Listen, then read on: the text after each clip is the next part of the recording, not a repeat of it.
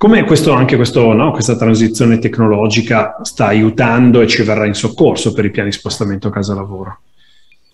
L'elettrificazione nel mondo della mobilità sicuramente è un tassello importantissimo, anche sotto questo aspetto secondo me va fatta molta informazione.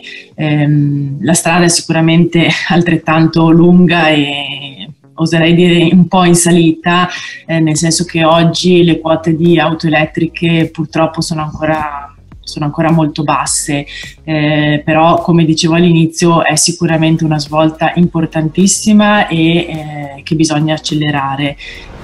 Andrea, il, se, tu dovessi dare un consiglio per un'azienda che deve decidere chi, a chi assegnare eh, l'attività di, di, di, gestione degli spostamenti casa-lavoro all'interno della propria organizzazione, no? qual è il profilo migliore? Anche per, per, esempio, anche voi, perché voi siete stati scelti, eh, tu e i tuoi colleghi, per gestire questa parte e rispetto alle altre aziende, do, dove, dovrebbe, dove, dove, dobbiamo cercarlo, ecco, il mobility manager in azienda? Che caratteristiche deve avere?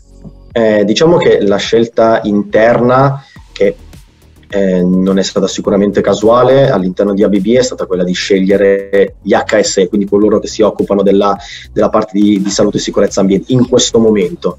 In questo momento salute e sicurezza ambiente, uh, la persona che si occupa di questo è diventato anche il mobility manager all'interno delle aziende.